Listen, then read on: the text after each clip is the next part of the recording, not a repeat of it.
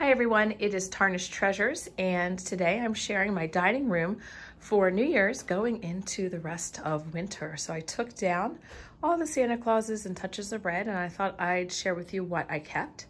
So on the dining room table, I did put the Santas away, but I left out the Jingle Bells and I left out the red flowers. They are coxcomb, and I just got those at a thrift shop. Um, it's kind of like a furniture thrift shop. And I like them because they're this dusty red color, matches with the curtains. And then for the tablecloth, I picked this up on eBay. I don't see a label for a brand, but I just really liked um, how the red also was kind of faded and the green as well. Some napkins, I picked those up at Target this year. They were um, Joanna Gaines. And then these salt and pepper shakers are a Christmas gift. They are from Pottery Barn, and I have, I think, two other pieces from this collection, so I asked for those.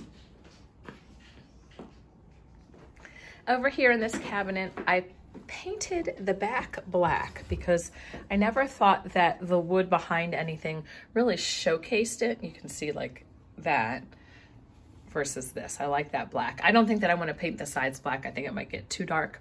So in here, I had all of my ceramic Santa figurines and angels. So I put those away. I kept out the jadeite.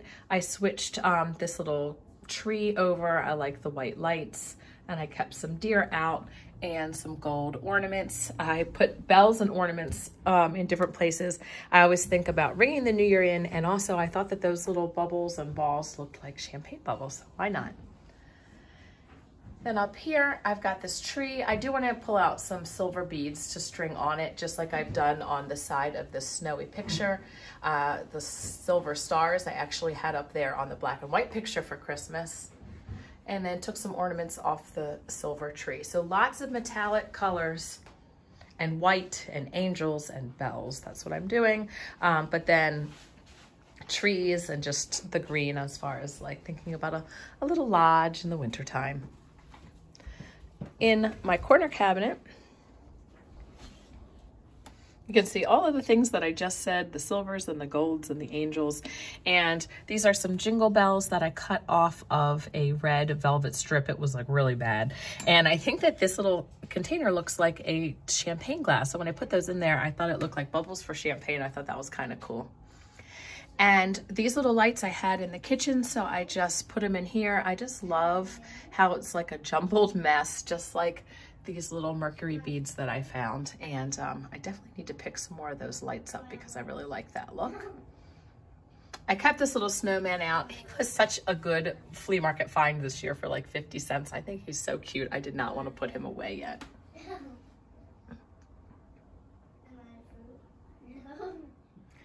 So over here, I did pick up this tree after Christmas on sale at Crate and Barrel. I had my eye on it for a while, um, and I was really happy to get it 50% off. It's got lights.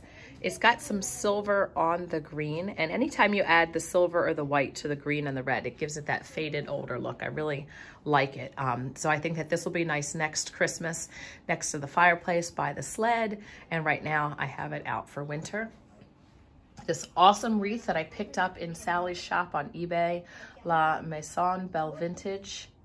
And then I added lots more bells and, you know, wintry things from my, my crafting stash. I've got many compliments on it. And then in my other corner cabinet, I had these silver tassels. I picked these up in a bag at Savers a few years ago. I don't think I ever shared them. I think that they're old. I have no clue what they're used for. And this is the first year that I figured out where to put them and I'm happy. So I actually have three that were in the bag. So I put one there and I put one there and they don't interfere with opening the cabinets at all. And I've really been into um, on YouTube and she has a blog. It's called The Parisian Farmhouse. And I think that we have a lot of uh, similar interests and thoughts about things. And I was reading her blog and it said something about like guards, like garage sailing and thrifting. And it said, don't ever be afraid to buy something even if you don't know where you're going to use it because if you are attracted to it you know it's your aesthetic you know you like it and eventually it will find where it's supposed to go and i think that that is uh, exactly what I'm thinking about with these tassels. And you know, they didn't take up a lot of space to store. And then now I'm very happy where, where I've put them. So in here I have some of my angel assemblages. So this one, um, I plucked her head off of an ornament. I put her on the base of this little feather angel, gave her a little stick pin. And you saw this one from the summertime. A couple ribbon rolls and wooden ornaments and angels. A lot of the stuff from like friend mails and picked up at yard sales. The other thing that I picked up at Target after Christmas is the garland of these white bottle brush trees. They were on sale for $6 and I think they came with at least 11 or 12 and I plan on crafting with them. Um, so when I made that little vlog about, you know, Christmas Eve and doing everything, I had said all the stores that I wanted to get to, you know, for after Christmas sales, and I was able to to get to all them and get what I wanted. I was very happy. Also, pardon the voice, I have a sinus infection. Got it on 10 o'clock on Christmas night. So over here at my buffet, keeping it simple, um, this plate is Homer Laughlin. I think that's how you say it, Laughlin, Laughlin.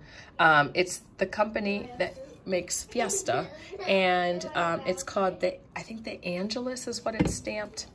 And I was given this by my mother-in-law, and she thinks that it was her husband's mother's or grandmother's. And it's got this most beautiful holly design. I just, I think it's absolutely gorgeous. So haven't put that away. And I picked this up for a dollar at the thrift shop. I just loved the bead design and the engraving. Definitely has that like romantic Victorian feel. And uh, I kept up some greens, added these two little angels. The pine cone wreath lights up at night. It's on a battery timer, so that's awesome. And then these were a Savers find. I went to Savers after Christmas. Everything was 75% off. That was winter. And uh, I got some great things. And in one bag were these little metal silver votives. So I've ordered some beeswax candles to go in there. And I thought that was nice with the metallic and the snowflake for after winter.